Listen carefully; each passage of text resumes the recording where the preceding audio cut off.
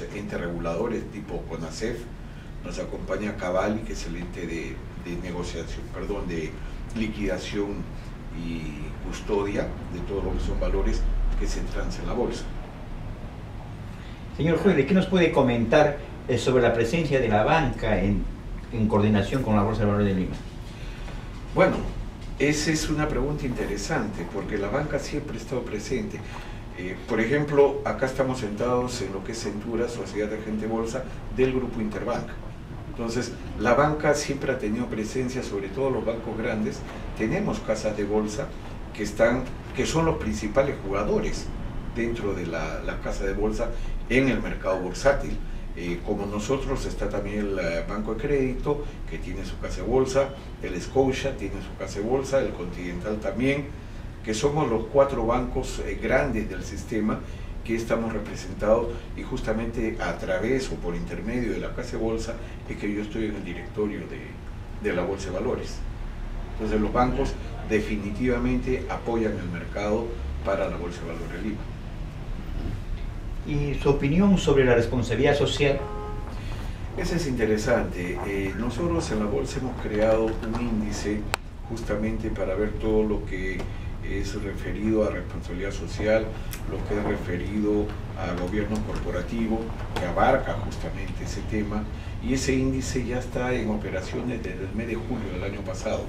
Eh, lo que hemos hecho fue premiar y primero evaluar obviamente a las empresas que iban a participar en el índice, se seleccionaron un grupo de siete, eh, perdón, ocho empresas me parece que son, que son las que conforman el índice Buen Gobierno Corporativo y se les hace evaluaciones constantes.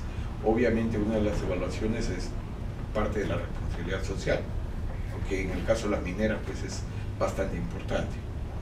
Nuestro país en estos últimos tiempos, como de su conocimiento, ha tenido un crecimiento expectante. Eh, ¿Cómo ve usted nuestro país como presidente de la Bolsa de Valores de Lima y cuál es su comentario sobre la estabilidad jurídica que ya estamos gozando? Yo veo el uh, país con mucho optimismo. Es más, yo soy muy optimista en cuanto al desarrollo de la bolsa también.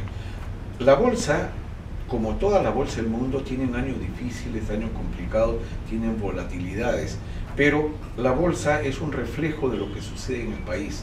En nuestro país todos los fundamentos económicos son muy buenos. Yo creo que el desarrollo que estamos teniendo en los últimos años sostenido es buenísimo y soy bastante optimista en cuanto a cómo el país está enfrentando la crisis eh, financiera mundial.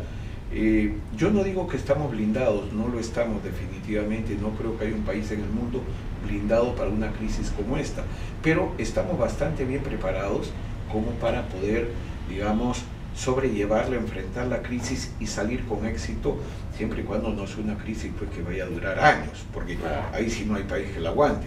Pero si pensamos en que la crisis debería durar hasta finales del año 2009, el 2010, deberíamos estar mirándonos las caras sonrientes y diferentes. Entonces, soy optimista en cuanto al país, soy optimista en cuanto al desarrollo del mercado bursátil y soy optimista en cuanto a todas las empresas que están creciendo en esto. Perfectamente. Para nuestros lectores, ¿nos podría narrar algunos aspectos de su biografía, señor Roberto Juárez? Ese es, eh, bueno, no es nada complicado. Yo tengo, en enero de este año cumplí 40 años banquero yo empecé en banca bastante joven y empecé en un banco que era escuela en ese momento, que fue el Banco de la Nación. Esto fue allá en enero del año 69. He recorrido algunos bancos de los más importantes. Claro, estaba Persegusaldo. Eh, estuve en el Banco Continental una época, el Banco de Crédito también una época muy interesante. ¿En qué tipo estuvo en el Continental? ¿Perdón? ¿En qué tipo estuve en el Continental? Continental estuve desde el 75 al 80. 70, 75 al 79 en el Continental. Ah, bien. Yo trabajé en el Continental. ¿Ah, sí? Sí, del 72 hasta el 80, con Chiapina. Claro, claro Federico Chiapina era el gerente general. El doctor Velarde era el presidente directorio. Yo estaba en ese momento en el área internacional con Camilo Bósolo. Claro, Bósolo. Claro, sí, ahí en el segundo piso, en el centro de Lima. Así es. Unas épocas lindas de muy la buena, banca, ¿no? Claro. Además, la banca era una cosa muy pequeña. Muy pequeña. Todos éramos como un club. Ahora la banca ha crecido, ha crecido enormemente, ¿no? Claro. Y después ya en el grupo Interbank, eh, yo estuve en el Banco Interandino, que antes era propiedad de la familia Rodríguez Pastor, que es la principal accionista de Interbank. Estoy con ellos desde el año 92. Entonces ya creo que tengo una, una trayectoria que yo considero linda porque es un negocio que me apasiona, es un trabajo el cual me motiva día a día y me hice cargo de la Casa de Bolsa del Grupo a partir del año 2002. El año 2002-2003 fueron años muy, muy complicados para el mercado bursátil, pero yo creo que siempre hay un Dios que nos mira a nosotros y nos ayuda. El mercado comenzó a cambiar, el país empezó a cambiar, ya la, la situación económica diferente, se empezaron a acumular reservas internacionales como un tema importante. Tenemos reservas internacionales por más de 30 mil millones que nunca en la historia del Perú las hemos tenido. Entonces, estamos eh, prontos a poder enfrentar una crisis como esta sin, digamos, problemas graves. Siempre vamos a tener dificultades, pero creo que no, no es así. Eh, estoy eh, como presidente directorio de la Bolsa desde eh, marzo del año pasado. Nosotros tenemos dos años, es el periodo de directores. Yo debo terminar mi periodo en marzo del 2010 y ahí tengo que salir del directorio porque solamente podemos reelegirnos en los directorios. Me gusta navegar, navego el año entero. soy flojo para deportes, eso sí, no hago prácticamente deportes, pero montando caballo, navegando, creo que es mi mejor forma, mi mejor terapia de recreación. Amigo Joy, una pregunta. ¿Tiene usted? Limeño. Mi padre era trujillano. ¿Tiene usted conocimiento de los bonos Gold 1000? No. Más profundo reconocimiento por esta diferencia.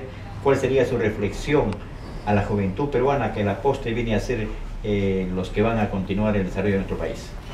Es importante, como reflexión, más que como reflexión, yo diría como eh, un consejo a la juventud. Primero, que tenga mucha esperanza en el país, se está desarrollando, creo que vamos sin lugar a dudas a ser un país grande, un país desarrollado.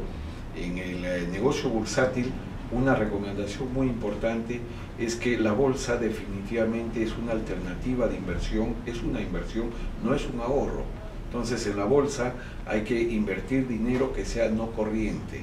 Con esto quiero decir eh, hubo una época donde hubo el boom de la bolsa en el año 2007 que mucha gente, no solo jóvenes, sino gente mayor también invirtió dinero corriente en la bolsa y la bolsa pues hay ratos que corrige precios y esa es una situación normal en la bolsa, igual como hay alzas, hay correcciones de precio, lamentablemente eh, y parecería una ley de la vida que cuando el dinero corriente está invertido en bolsa y uno necesita ese dinero, la bolsa se cae, está en baja, entonces uno puede realizar pérdidas no pensadas.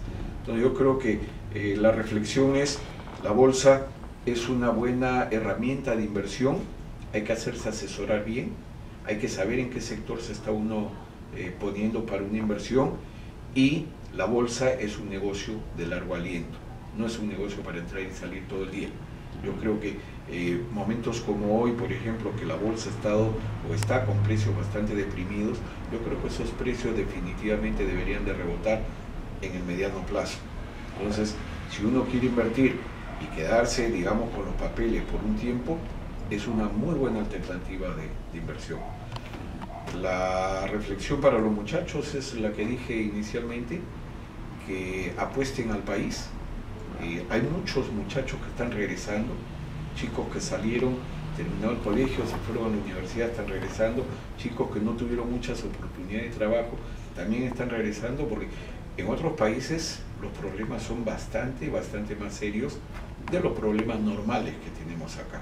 Entonces, sí, la reflexión a ellos es tener fe y esperanza en el país, que creo que estamos haciendo las cosas bien y a eso apuntamos. Muchísimas gracias, señor Roberto Joyle. Ha sido de explicaciones exclusivas para nuestra próxima edición de Banca y Finanzas.